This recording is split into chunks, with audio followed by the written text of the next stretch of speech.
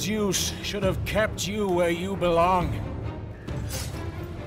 No matter how many gods fall, there will always be another to stand against you. They will fall as well. The death of Olympus means the death of us all. Then prepare for your death, Poseidon.